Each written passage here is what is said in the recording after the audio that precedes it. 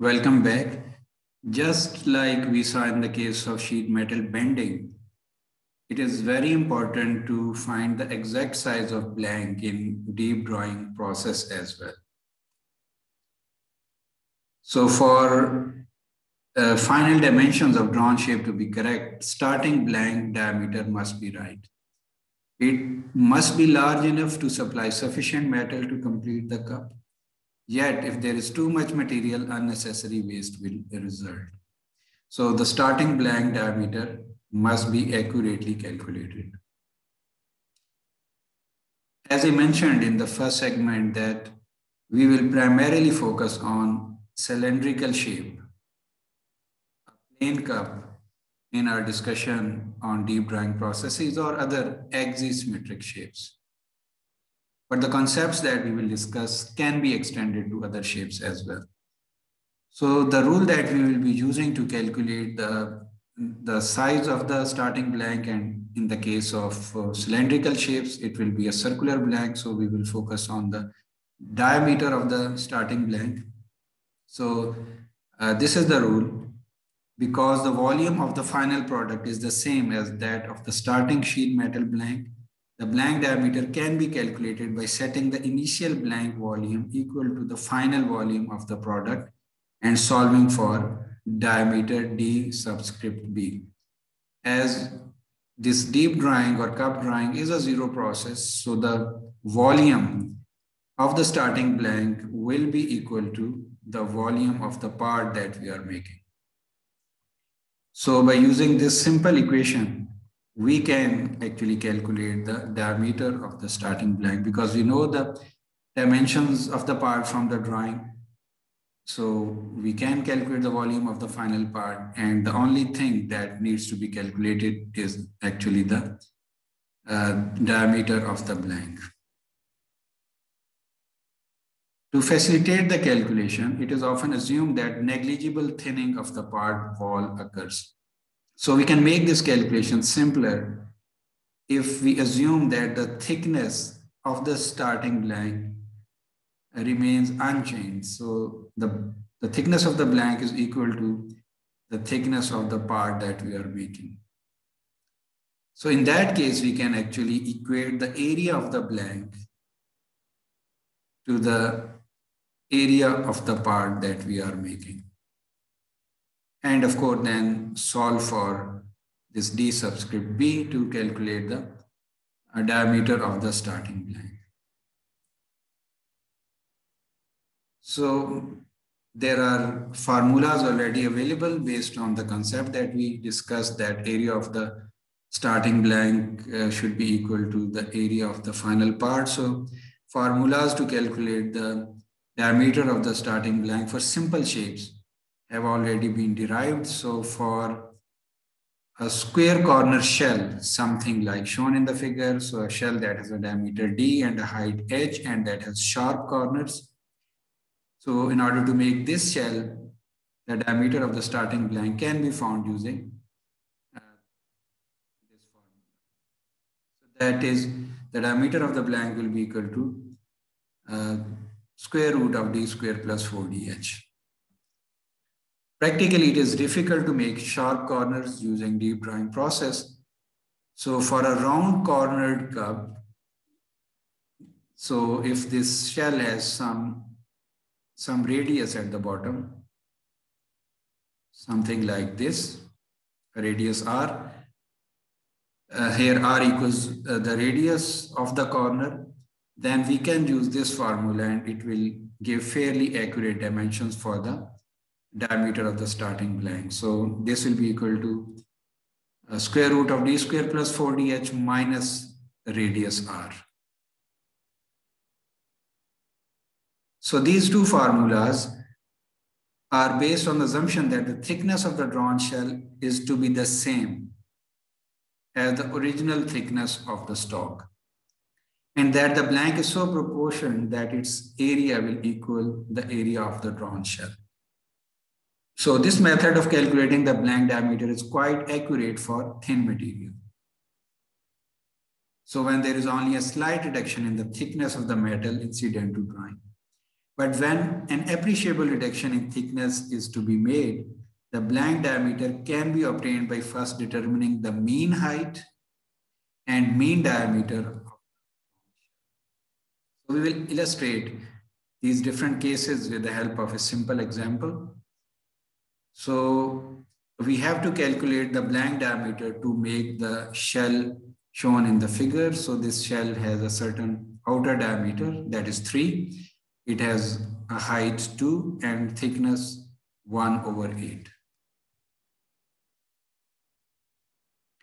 So first we assume that there is no thinning and we also ignore the bottom radius. So in this case, we have this formula. So the diameter of the starting blank will simply be equal to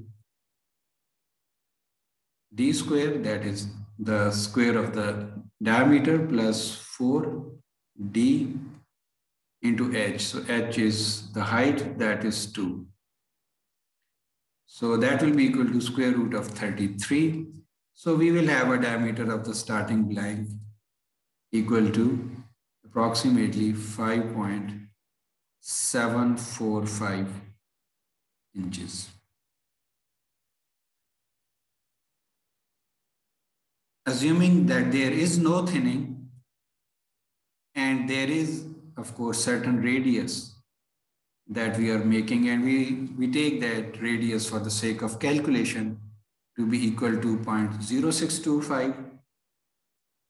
So in that case, we can use this formula. So the diameter of the starting blank will be equal to, this is square root of 33 minus a radius of point 0.0625 or 5.745 minus 0.0625.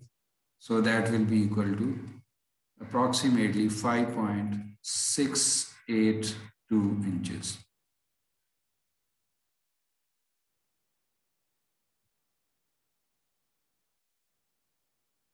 The third possibility is that we do assume thinning that is the thickness of the part, the shell that we are making reduces and still ignoring the bottom radius, then we have to calculate the mean diameter and mean height. So this was the outer diameter of the shell that was three. So we have to calculate the mean diameter. So we have to subtract this half thickness as well as this half thickness in order to calculate the mean diameter. So this half thickness plus this half thickness equals to the thickness that is 1 over 8 or 0.125. So actually we are calculating the mean diameter that is equal to 3 minus half of uh, 1 over 8. So that is half of 0.125 minus half of 0.125. So that turns out to be 2.875 inches. Similarly, in order to find the mean height, we have to subtract the half thickness, this one. So mean height will be equal to 2 minus half the thickness, and that is 1.938. And using the formula that we just saw in the previous slide, so the diameter of the starting blank is d square plus 4dh, and d is the mean diameter just calculated and height is the mean height. So the diameter of the starting blank turns out to be 5.528 inches in case we are assuming uh, the thinning to take place.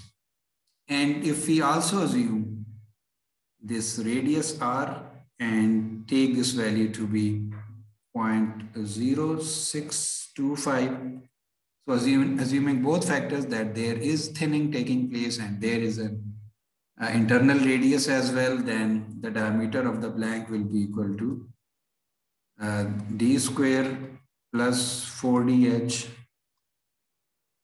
minus r. So d and h are the mean diameter and mean height. So uh, they turned out to be 5.528 minus assuming radius to be 0.0625. So this diameter turns out to be 5.465. inches. So these were a few possibilities regarding a plain shell that has a certain height and a certain diameter and whether we were assuming thinning to take place or not. And was there an inner radius at the bottom of the shell or not? I hope you can calculate the value of reduction in this case as well. Now there are different formulas available for different axisymmetric shapes. So if the shell has a square corner but has a flange or collar that has a diameter d1, then the diameter of the starting blank will be equal to d1 square plus 4dh. Similarly, if we have the same shape but there is an inner radius at the bottom of the shell as well as an outer radius at the at the collar or flange, then this formula will be used, this one. And you could see similar formulas for other axisymmetric shapes as well. Now the question is, what if we have some other shape? Is there a general method that we can use? And the answer is yes, we can use the method of areas. And actually this method has been used to derive these formulas that we are uh, seeing on the slide. So we can find the areas of different segments of the part to be drawn and then sum, uh, and then sum those areas. So as we are given the drawing of the part that we have to make, so we can divide the uh, part into different segments, calculate the areas of those segments, and then sum those areas to find, uh, uh, then to equate that area to the area of the starting blank and then calculate the diameter of the starting blank. So I hope uh, this basic idea to calculate the uh, diameter of the starting blank in the case of axisymmetric shapes is clear. Thank you.